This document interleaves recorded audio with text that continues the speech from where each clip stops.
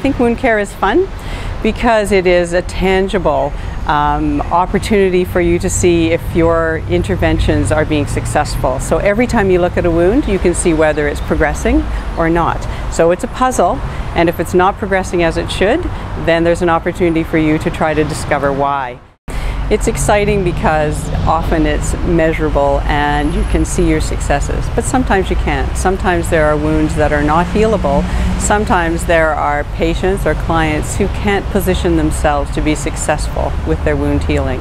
Sometimes they're not able to change lifestyle factors. Sometimes they have underlying disease that takes more than they're able to put forward to resolve that problem. And so that can be a frustration for the nurse who has the goal of healing.